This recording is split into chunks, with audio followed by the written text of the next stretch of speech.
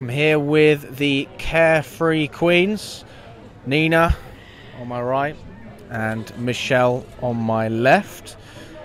Feeling carefree? No. We've just uh, dropped two points, 2 2 against Everton. Yeah, No, we were feeling quite carefree as the last couple of weeks were building up, but I think today we've kind of hit another wall again. Although I do want to say for me, the result doesn't necessarily, like for someone that maybe didn't watch the game, I wouldn't say it reflected exactly the performance because it wasn't great. It wasn't.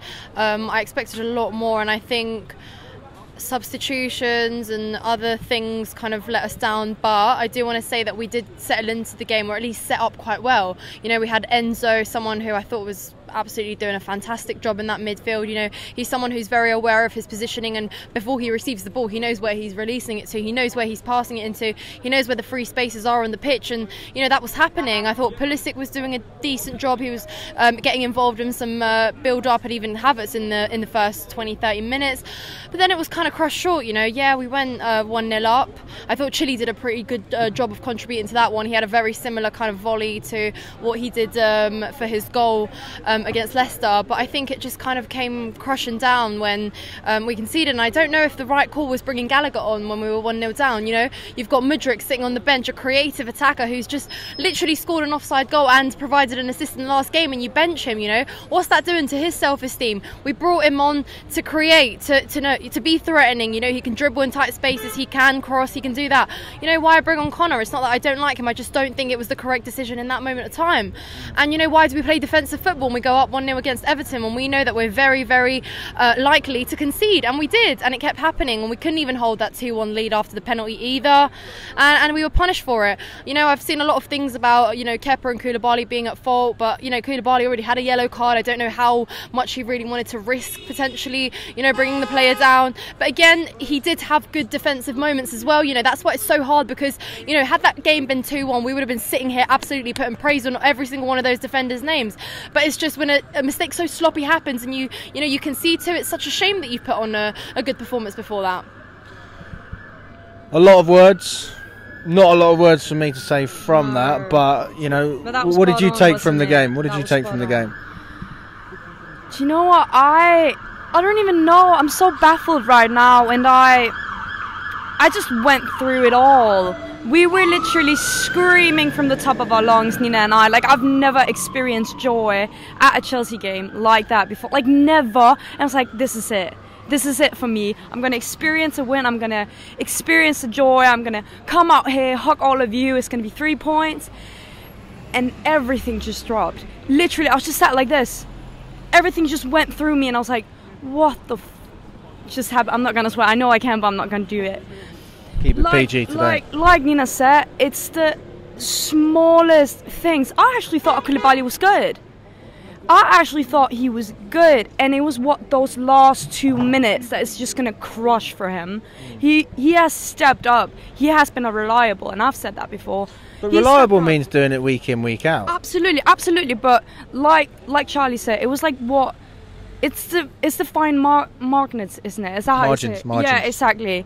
It's like the smallest things, and it's that's what that's what we do, isn't it? Like we drop it to the smallest and dumbest mistakes. We were absolutely dominating this game. We were absolutely brilliant. Like Nina said, the the result doesn't reflect the game at all. We were really, really good. Everyone was putting in a shift. I asked Nina uh, during halftime, who who's even bad? Who is even doing a bad job? Everyone was putting in a shift. I was I don't know why, but everyone was not that impressed with Christian. I was really impressed with him. I thought he did okay as well. Do you know what? Christian is creative, he's fast. Yes, he runs too far with the ball and he's been doing it for a lot of games, but today wasn't the one. Yeah, he had a few uh, mistakes, which you sh- I don't think you should be criticizing that because he's been injured for quite a while as well. He was brilliant. He was such a good playmaker and he put in such a good shift. I don't I don't understand why you would criticize something like that because that was actually a decent shift and everyone put in a shift, didn't they? And then it just crumbles like it always does. Well, I mean, we've had a bit of luck over oh the yeah, I know, few games. but you know, for me, it's like it crumbles. Whenever I'm here, it just crumbles. Maybe I should Yeah. just stay. I mean, for those of you who obviously don't know Michel, she flies over from Denmark for pretty much every game. So uh, you know, it's not your typical home game, but No, and the thing is, the thing is, then when I don't fly over, we're brilliant. We're absolutely brilliant. I stayed away three games. Those three games, those three games, man. I was just, I was just living my life down in Tenerife, right? Because I went on vacation, and every fan came I did, I was like, cheers, cheers, this is fucking brilliant. I'm gonna go to the brewery. maybe you should go on holiday more Yeah, I should just leave and never come back. Honestly, we joked about that on the show as well. Like, Uh, it's a curse, isn't it? Alright. So I'm gonna just say a couple of names, and I want you to give me a player rating, how they played, scale of one to ten. Kai Havertz. Not consistent performance throughout the whole game, but decent. And compared to what we've seen in previous, I'm going to compare him to kind of last year and before the World Cup. I'd give him a fair kind of six out of ten. Six I'd out of say, 10. yeah. Yeah, no, I think it's more for me. It's more like five to ten because for me it was Christian that created it for him. Christian created it for Yeah, Joao. what, what, would- what would we give Pulisic then? That's tough because he isn't consistent. Do you know what I mean? But purely on today, I'd rather give that a six. To be honest, I don't want. I don't want to go through the roof with it, but I was impressed with it. It's improved. Yeah. What about you? Yeah, I'd say I'd say I agree with that, and I think uh, he does overplay it a little bit too much, especially when it kind of gets into that kind of final third area where he can look up and pass and potentially you know set someone up. He doesn't, and he loses the ball, and then that's when he kind of wastes his uh, good, fantastic dribbling up until that moment, um, and then he obviously came off. Um, but yeah, no, I, I'd, I'd agree with uh, Michel. Kepa? Kepa, I think I need to rewatch. Uh, obviously, the goal that everyone's saying that he's at fault for because I, I couldn't quite actually see um, his mistake in that position. But I think he did also make a save. Um, I think one of out of their probably three shots that they had um, today um, that he saved. So I don't know. I'd give him a decent six, seven out of ten. That seems quite it? generous, Hard, to be fair, considering we conceded two goals. Yeah. What do you think? What do you think? No, I- I'll agree partly with Nina because where we were standing, it was kind of hard to see certain situations. Yeah. Um, All right. What about what about Joao Felix then? oh shit, that's a 12 out of 10. Twelve He, no, I love him. Yeah, but I don't. I love him. I, I don't even argue We're it. not even He's- talking about that. Are we talking? What no, we're talking about? No. Overall, he's just there. He's just.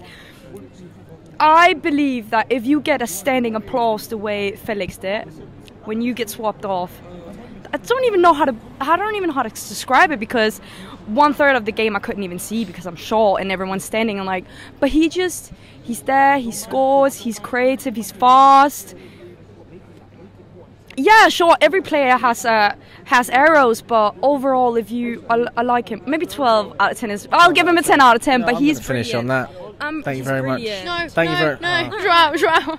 No, can I just say about Joao Felix is that he has a fantastic impact on um, our attack. Whether he's scoring and whether he's assisting, that will come with time because he has been unlucky with it. However, he makes Kai Havertz look alive. He makes a lot of the other squad There's players Todd look Boehly. Turn the camera. Turn the Oh, camera. Todd Boehly. There he is. Todd Boehly. Yeah, can't really see that too well, but Todd Boehly just walked But past. no. I'm wondering what he's thinking. You know, when I said player rings, I literally was expecting one word answers. Well, but I mean, listen, I'm not going to complain. talkative, aren't we? yeah, very, very the Carefree talkative. Queens. Carefree Queens.